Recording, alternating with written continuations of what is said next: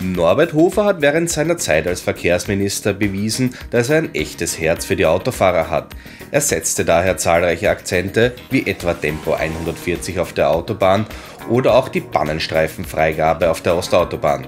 Doch auch weitere Verkehrs- und Infrastrukturmaßnahmen konnten in Angriff genommen werden. Es gab da ganz, ganz viele Projekte, die wir auf Schiene gesetzt haben. Also nicht nur im Bereich eben auch der Schiene, sondern auch bei der Straße. Da gab es viele Gespräche mit den Vertretern der Bundesländer, also Plan, Schiergangtunnel oder auch die Waldviertel, Autobahn, S36, äh, Bau, Birnautobahn, äh, Ausbau. Und alle diese Projekte bis hin zur Breitspur hängen jetzt in der Luft, äh, weil ja von den Grünen auch ganz klar gesagt worden ist, sie wollen keinen weiteren Straßenbau. Und das ist ein Wahnsinn, denn die Straße finanziert ja die ASFINAG, äh, die Autobahnen und Schnellstraßen, mit den Einnahmen, die sie bekommen von den Autofahrern und Autofahrerinnen. Und äh, Infrastruktur ist einfach, äh, das, ist, das sind die Lebensadern auch der Wirtschaft. Und wer das behindert und verhindert, der gefährdet auch Arbeitsplätze.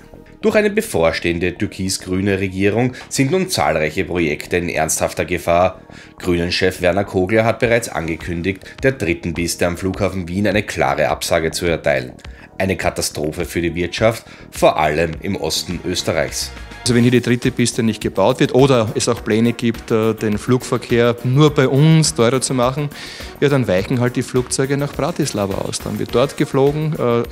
Äh, der Flugverkehr ist aber trotzdem auch über Österreich, also ein echter Schildbürgerstreich oder der Lobautunnel, der jetzt äh, auch gefährdet ist.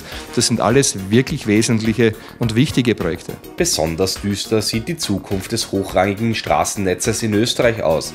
Da die Grünen die Autofahrer verteufeln, werden sowohl Modernisierungs- als auch Neubaumaßnahmen auf der Strecke bleiben. Also wenn ich jetzt zum Beispiel denke, wir haben mit der Steiermark jetzt bald Wahlen äh, an die S36, den Bau oder die Verlängerung, äh, den Ausbau der, der, der Bürenautobahn, das sind alles Dinge, die braucht die Steiermark und es wäre sehr, sehr schade, wenn das gefährdet ist. Klar ist, gerade in einer Zeit, wo sich die Wirtschaftsdaten verschlechtern und eine Rezession droht, ist die grüne Infrastrukturbremse eine ernsthafte Gefahr. Norbert Hofer hat gezeigt, wie es funktioniert. Nun droht Österreich ein Stau der ganz besonderen Art.